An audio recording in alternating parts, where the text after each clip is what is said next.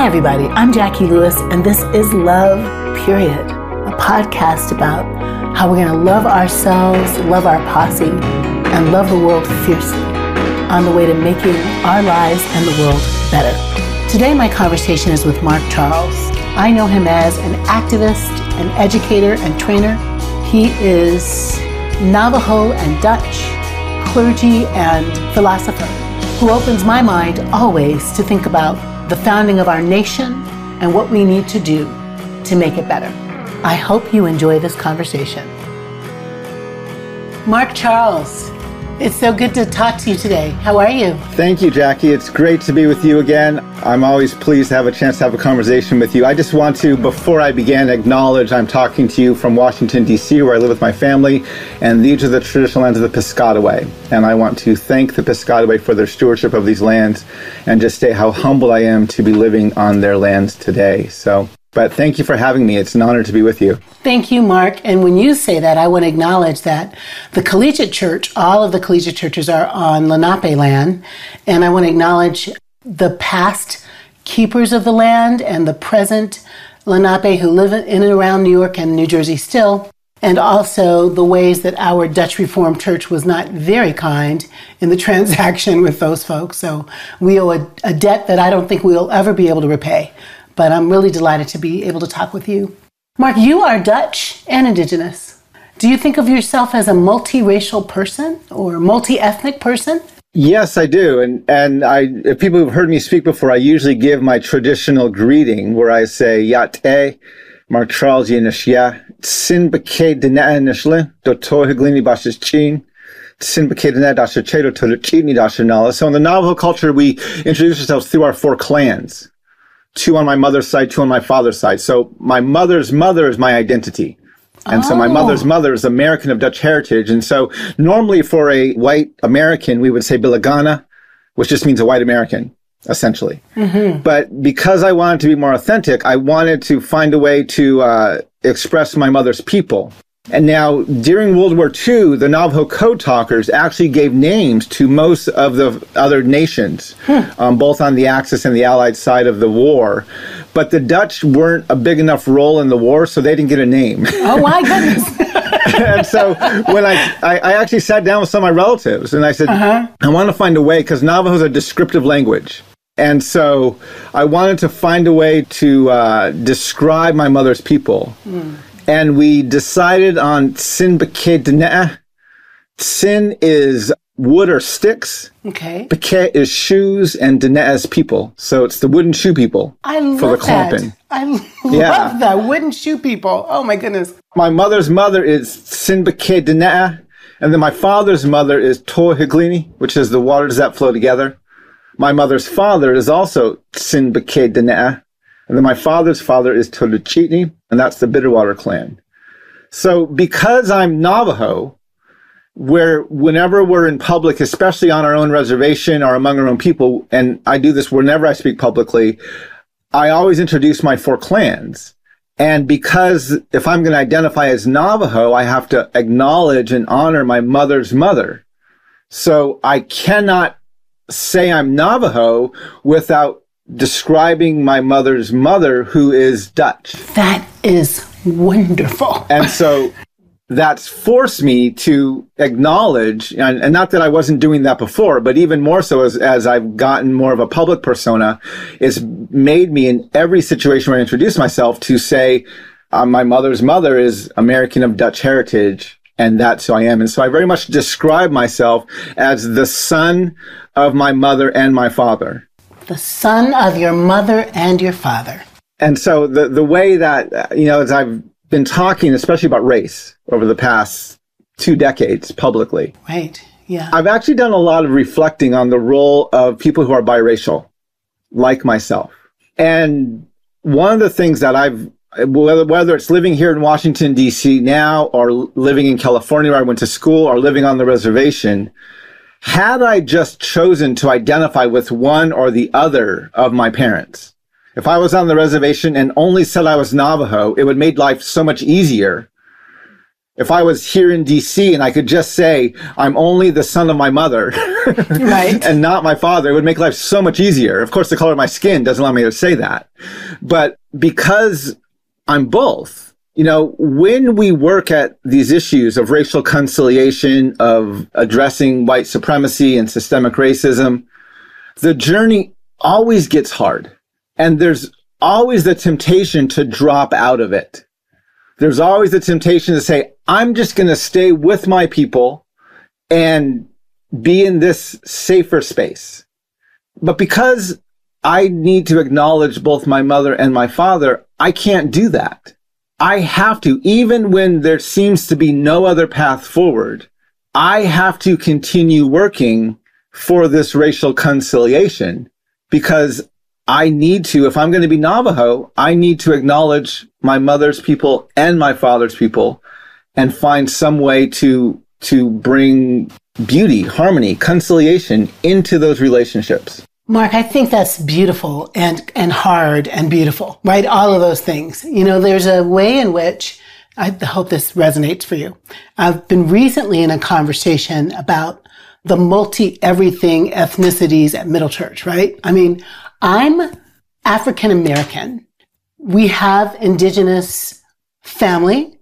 Uh, my mom and dad are both from Mississippi and we've got indigenous relatives I'm always loath to say which tribe, which nation, because I think it's gotten blurred over time. Like my, my aunt will say, I think it's Blackfoot, but it could be Cherokee. I'm like, okay, that's not exactly the same. So I'm trying to do some, some work around that. But, but we claim that. We see that. We see it in ourselves. We see it in our relatives. And then, of course, I don't know where I'm from, Mark, really. But anytime I'm in DC, which I love to come to your town, I get in a cab and I have Ethiopian or Eritrean cab drivers call me sister. Yeah. So they don't think I look West African. They think I look like them, which I'm happy to claim. My grandfather, my mother's father, looks exactly like all of those Ethiopian cab drivers, which you and I know was, is odd because the slave trade wasn't really about Ethiopia. But right there, my uncles look exactly, some of them look like you, my friend. So it's interesting. Yet let's just go, I'm African American, I'm black in a simple way. Simple as in you say, I can make that choice, right? I can say I'm African American and that's it, as opposed to claiming two different kinds of uh, streams of, of um, ethnicity. But when I get to church, Mark, and I'm the black pastor in the multi ethnic church, that is its own kind of border crossing right?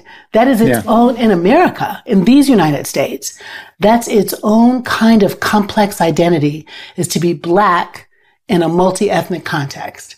How black are you in a multi-ethnic context? What do the people in the multi-ethnic context think of your blackness? Is what I'm saying resonating with you? Yes, it absolutely does. And it's because I think race is, whether you like it or not, is defined or centered by whiteness. And Willie Jennings talks about there's a proximity to whiteness. And so because of the understanding there's a proximity to whiteness and the, how, what your proximity is depends how much you get to partake of, I don't want to call them benefits, but of the fruits of whiteness. You know, and so the color of your skin obviously is a massive barrier to that, but financial standing, gender, all these other things, sexual orientation and identity, all these things. So if it's, it's technically the white landowning Christian male that's at the center. That's the white standard. That's right. That's right. And then every other group is kind of defined in these circles beyond that. Right. That's right. And, and so, yeah, this is the challenge with dealing with race because race is somewhat of a moving target. That's bull- bullseye. That's right. It is, isn't it? And, you know, even the way race was constructed. So as an African American, the black race was constructed through the one drop rule. Right. If you have a single drop of African blood, you're black. You're black. Blacks were the enslaved. Having that population grow and expand was beneficial to whiteness because that was the labor pool the American Indian race was constructed through the one or through the blood quantum rule. You're full, you're half, you're a quarter, you're an eighth, then you're bred out of existence. This is because, well, the myth is America was discovered, there were no people here. There's treaty obligations to Native peoples, so they want as few of us as possible. So they construct the black race to multiply, and they construct yes. the American Indian race to eventually be bred out of existence. Of existence, right? Do you see the quote? I can't even say it now. Which one of these electeds said something about coming here and there not being that much culture anyway, and then going, well, well, the indigenous, but that was Rick that? Santorum. Rick Santorum, who was speaking at a conservative conference, a Christian conference, I believe, um, and he said that America is unique. I don't have the exact quote in front of me. He said America was unique because it allowed European Judeo-Christian people to come here and start a nation from a blank slate. Yes. And he said, yes, there were some natives here, but they have very little impact on Western culture. And so that doesn't really matter. And immediately that was decried by Indian country. Yes. As a racist comment because it completely, a, a, it was false. Again, my book, on Unsettling Truths, begins with the statement, you cannot discover lands already inhabited. So you, you have to acknowledge there were people here. So there was no blank slate. Exactly, exactly. These lands were ethnically cleansed. And then it completely diminished or dismissed the contributions of Native peoples right. to American society and even to American culture. That's true. And I saw it, you know, I'm in a blur right now, Mark, in so many ways, right? The fire that keeps burning, you know, the fire that burned the church down keeps burning in the way it preoccupies my mind. So you, you and I were together at the Revolutionary Love Conference. And I feel like since then I've been a, in a blur. But I saw that come by, I think, through Sherrilyn Ifill, who also decried it. But this idea of the erasure of a people, Mark, is a kind of a heartbreaking a heartbreaking truth around our nation. I write in my book, Fierce Love, I'm writing, what happens to the children of the people who were disappeared? So what happens to the children who watched the flaying of black flesh and their children and their children's children, uh, the bloody fingers picking cotton and their children and their children's children. Mark, what happens to the children of the indigenous who watched their families you know, burned, pillaged, raped, who were snatched, kidnapped out of their homes, who were trying to have the indigenousness, the Indianness of them kind of cultured out. I'm, I'm thinking about that in terms of love, and I'm thinking, how do we, how do we love ourselves? How do we love ourselves, stay in love with ourselves, remain in love with ourselves when those are the stories in our psyches? What do you think? Well, see, uh, it's interesting this week because it was not long ago that Joe Biden, the Biden administration, acknowledged that what happened in Armenia was genocide, which was very challenging for our Turkish allies because they committed this genocide. And he acknowledged it. And several times a week, I, I do, it's not even a podcast. I just go online and I live stream. I call it my second cup of coffee, where I talk about issues coming up as I drink my second cup of coffee.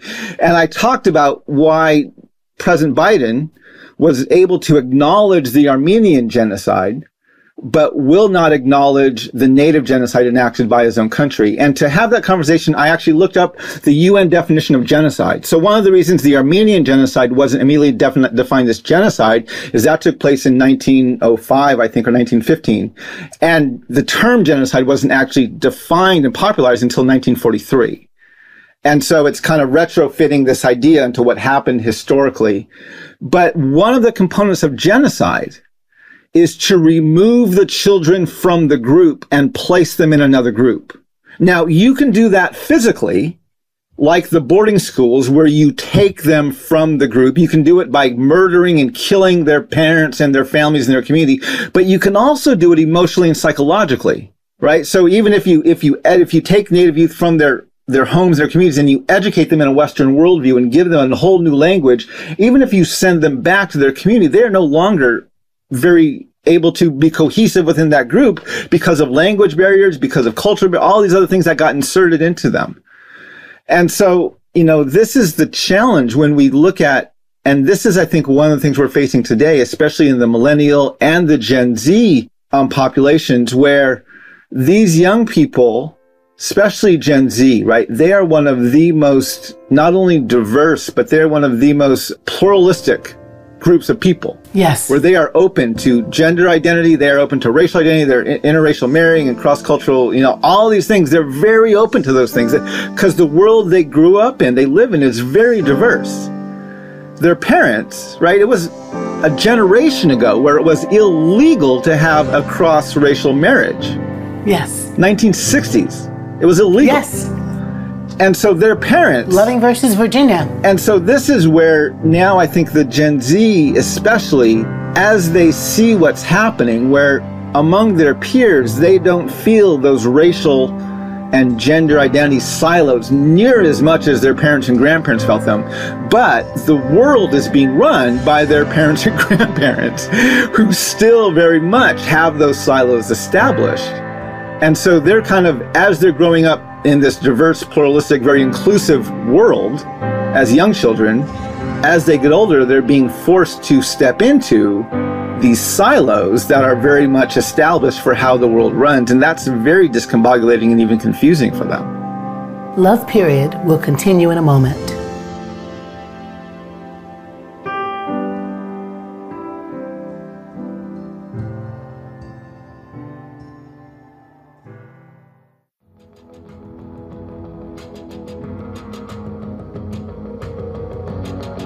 I feel like when I see you in the world, being yourself in the world, you're a very confident person.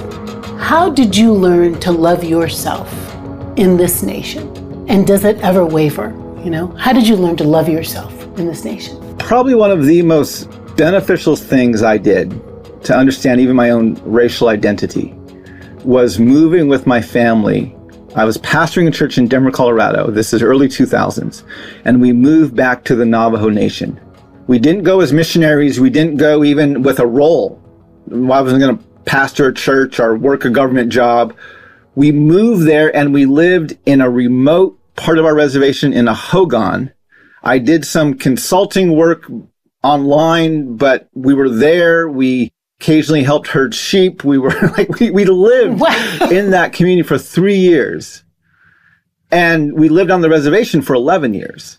We had no running water, no electricity. And this was while I'm, I'm observing politics. I'm observing the world. I'm observing things like, uh, whether it's the tsunami that happened in, in Indonesia and India or the, uh, election of President Obama, you know, and I'm watching all these things.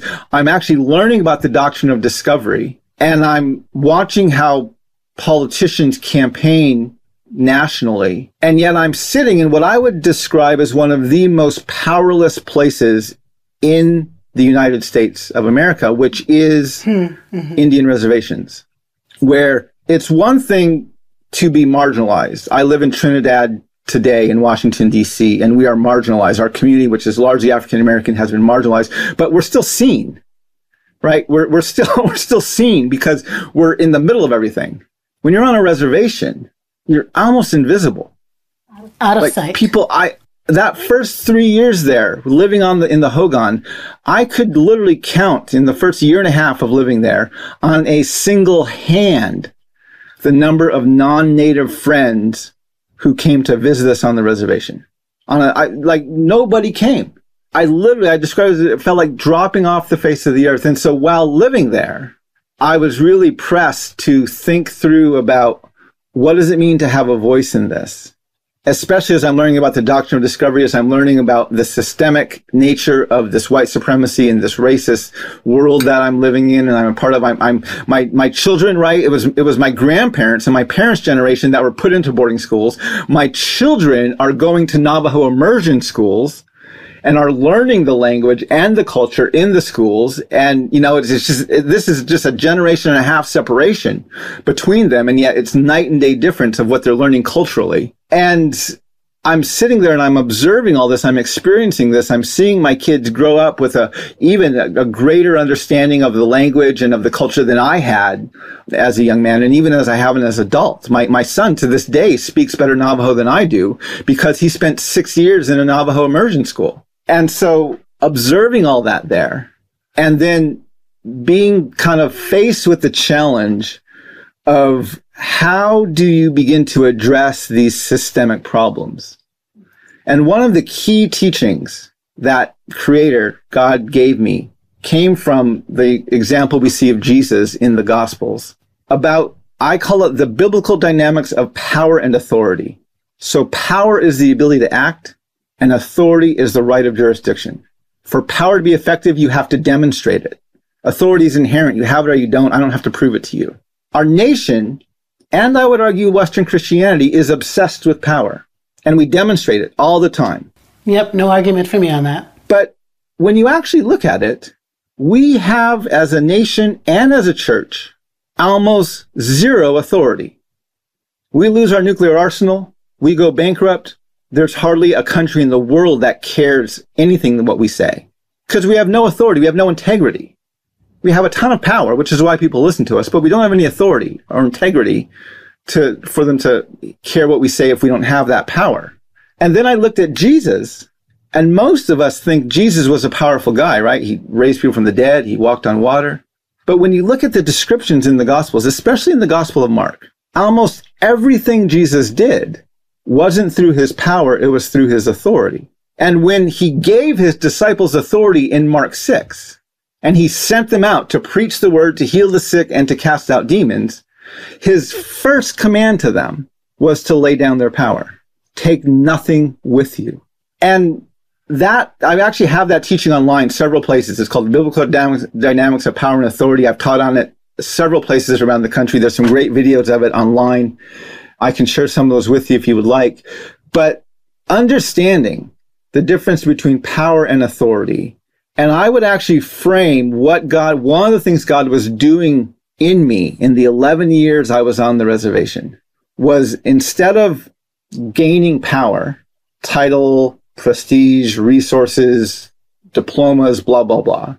God was instead teaching me how to speak with authority.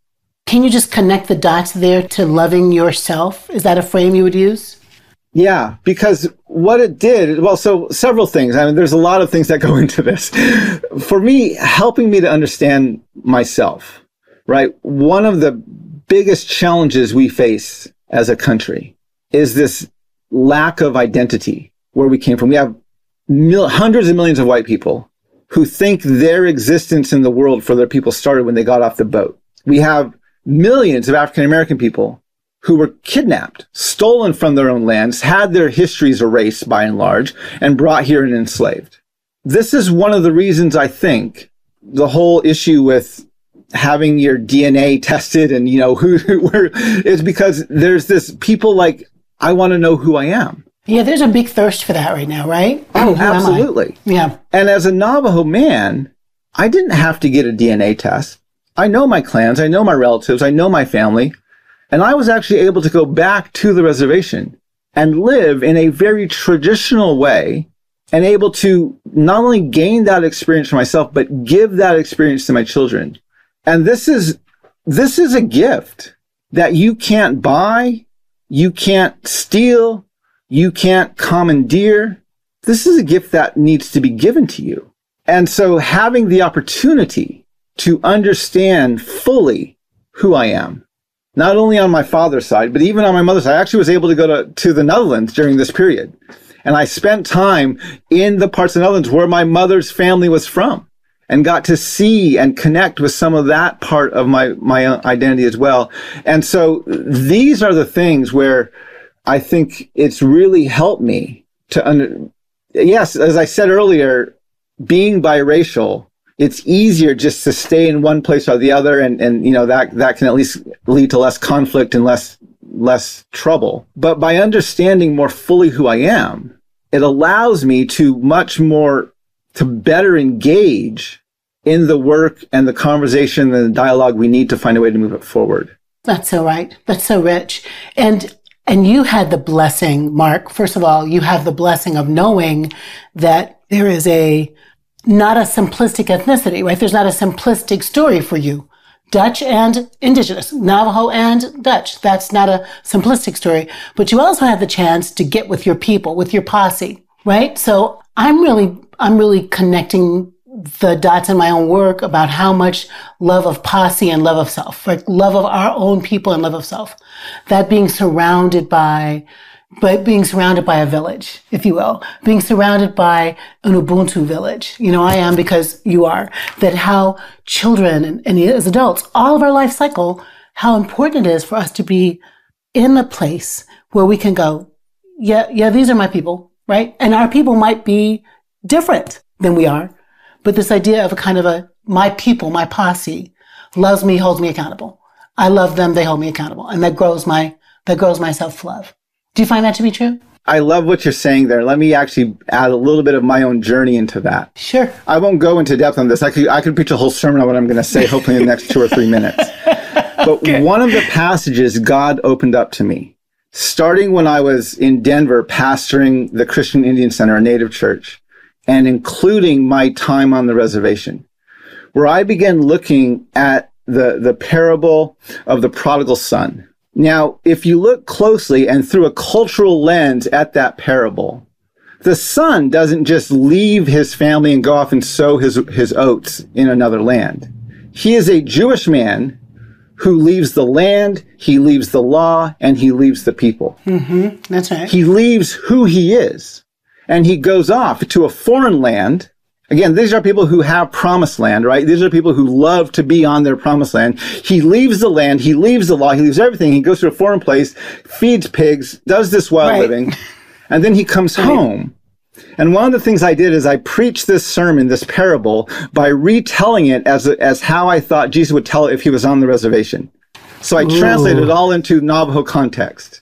Okay. And when I looked at the gifts the Father gave, and I translated those into what they would be equated to in the Navajo culture. What I realized is the father wasn't just giving gifts, even financial gifts to his child. He was restoring his cultural and ethnic identity that he left when he took off in the first place. Oh, interesting. And that parable, right? The parable, we call it the prodigal son. It's not the prodigal son, it's the prodigal father.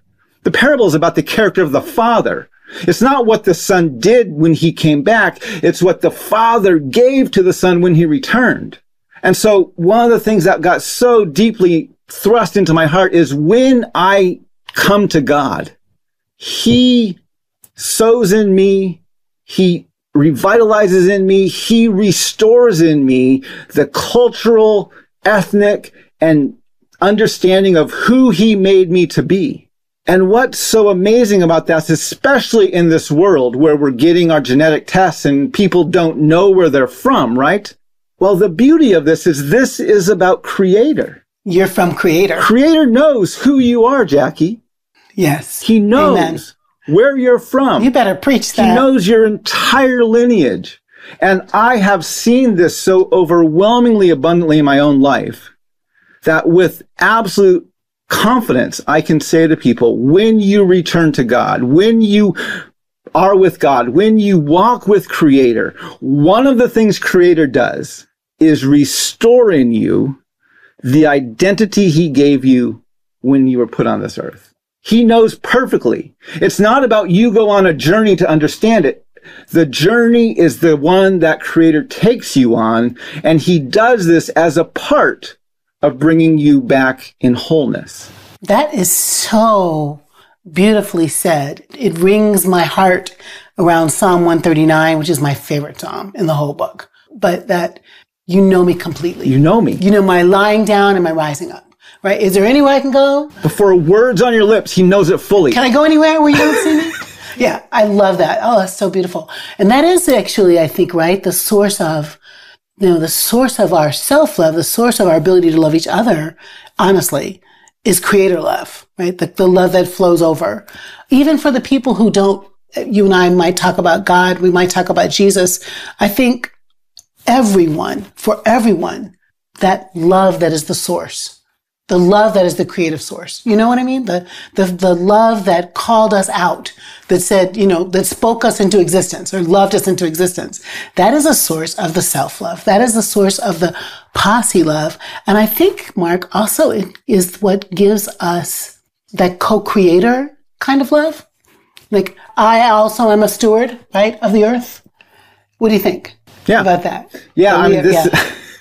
I absolutely agree with that. You know, one of the things I, I'm doing right now is three or four mornings a week And in the start of my book, I talk about one of the best disciplines I've ever had spiritually is watching the sunrise. And living in the concrete jungle of DC for six years now, I had lost that practice because it's hard to see the sunrise here. And after the election, I was so in need of reconnecting with creation and just the physical world around me that I, I found a place that's 20 mile, 20 minutes from my house. I have to drive there but I can sit right next to the Potomac River and I can watch the sunrise come up over the water. And I've been doing that three or four mornings a week. Almost every morning that it's clear, I've been doing that for the past probably two or three months. And I, I sit there and I actually have been live streaming them. I, I live stream them on my Facebook page and I put it on my Instagram channel. And what it does is it reminds me, right? One of the, one of the lies we're told in society, in Western culture, is that we can control things. And so much of our stress comes from our, our attempts to control everything around us. Yes. What indigenous culture knows so fully well is there are things we can't control. And watching the sunrise, not once every two months when we go to an early flight, watching it day after day, week after week, month after month, and eventually year after year, what that communicates to our hearts is there are things that take, take place, like the sunrise, that we have no control over. We can't make it happen quicker. We can't make it happen later. We, it, it, happens. If we're there, we can appreciate it and be grateful for it and even participate in this beautiful picture creator's making. Beauty. Yeah, yeah. But we can't control it. And learning how to live in a world without being afraid of being out of control. Mm-hmm. Yeah, that's a good thing. Is incredibly freeing. oh, that's right. That's really true. And then our job to steward and to be a part of that world in a way to maintain it and to, and to help it continue to flourish is so important. And it seems to me, Mark, that the folks who were interpreting scripture early, so not you, not me, but this idea of, you know, subdue the earth or control the earth or, you know, manage the earth that comes from the way, I mean, if, the, if love is this concentric circle, self, neighbor, posse world, and you've been taught love is about power over, or love is about subdue, love is about control, your cosmology and your love, your love stuff is all messed up. you said to live freely, and I'm, I'm I want to to love freely is to open our hands and recognize what doesn't belong to us and what we can't manage, but to kind of have an unconditional regard uh, Jim Loder said, I think, non-possessive delight, he said. But to have unconditional non-possessive delight in each other, in the world, in the neighborhood, you know, in the creation, that's liberation. Like read it like a book, you know, watch it like a movie. Here it is. Here it is before me. How do I enter in with my arms open, right? So we've talked a little bit about loving yourself. I love that the journey home got you there, and loving your people. If I ask you, what do you know for sure about love? What do you say? Well, the first thing that comes to mind is the, the scripture love is patient, love is kind, is not self seeking. I think for me, when I, when I think about love, if we're truly going to love one another, the first step we need to take in that journey is we need to be able to acknowledge everybody's humanity. So much of the havoc we wreak upon people is because we don't acknowledge their humanity. And I know it sounds very basic. It sounds like this is just, but I literally think that is the first step. You know, whether it's the church acknowledging the humanity of everybody and not discerning who we're going to bake a cake for and who we're not, right? Based on our theological ideals. One of the things I loved, and this was, this was a few years ago in politics, right? When, when Dick Cheney was vice president, he was one of the most hawkish conservative vice presidents we've ever seen in our country and he was the pit bull for for George Bush, and he did his bit. Uh, you know, he was he was fierce, and he stood by Bush on every single issue except one that I can think right. of. Right. Yeah. Gay marriage. Why? Because his daughter. Because his daughter. Yeah. Is gay, and so he could not advocate for the dehumanizing, demeaning policies that the Bush administration was trying to, and he broke from him and said, no, I am going to acknowledge the humanity. Mm-hmm. The particular humanity. Yeah. And so I'm so convinced this is one of the biggest struggles that we face in the United States of America is we cannot even agree that all of us are human. The church can't agree on that. The nation can't agree on that. The foundations don't state that. And if we can just get to that point of saying we're going to acknowledge the humanity of everybody you know, I've taken over the past several months, not only of saying Black Lives Matter, Native Lives Matter, but I also say frequently, white people are not superior. Right? Because these are the lies we're told. Not only are we told black lives don't matter by what happened to them in our policing system, in our criminal justice system, not only are we told that native lives don't matter because of land titles and everything else, but we are constantly told, both implicitly and explicitly, that white people are superior. That's why we call it white privilege. And so I found it's just as necessary to state now, some people have accused me, said you're being racist. It's not racism to say you're not superior. the fact that someone thinks it is is a problem. Yeah, it's kind of truth. Yeah. And so, I've actually, you might want to say this is setting the bar kind of low, but the step I am working hardest on right now in the church as well as in our country, I can't legislate love. I can't force people to love one another, but I can absolutely assure you we will never love one another if we are not able to recognize each other's humanity. And so that's where I'm starting. That's so good. That's so both elemental and essential, simple and profound. Yeah. Love starts by recognizing the humanity of the other human being. Yeah. Mark Charles, thank you for this wonderful conversation. Tell us where we can find your best stuff. What's your website? You can find me on my, uh, online. My website is markcharleswirelesshogan.com, W I R E L E S S H O G A N. And that's my username on most social media. That's my Twitter, that's my Instagram, that's my YouTube. I have a, a verified account on Facebook. You can find me there easily just searching Mark Charles. So, yeah, I'm very active. I'm even on TikTok. so, you can find me online. I engage a lot daily. I'm online live streams and, and posting and stuff like that. And uh, yeah, I would love it if people would connect with me there. They can order a copy of my book Unsettling Truth. We're actually selling signed copies of that on my website at wirelesshogan.com. But yeah, I, I would love for people to reach out and, and follow me on social media because I'm doing everything I can to push this conversation forward. Let's keep talking, Mark. Thank you so much. Appreciate you. Thank you. Love Period is Corey Big, Paul Swanson, Izzy Spitz, Sarah Janzak, Jenna Kuiper, Sarah Palmer, Nicholas Kramer, and I'm Calissa Brewster. This podcast is produced by the Center for Action and Contemplation, which is located in the heart of New Mexico, thanks to the generosity of our supporters. We also have other podcasts you might like. You can find those wherever you like to listen by searching for Center for Action and Contemplation or visit us at cac.org to find out more about our other programs. From the high desert of New Mexico, we wish you peace and every good.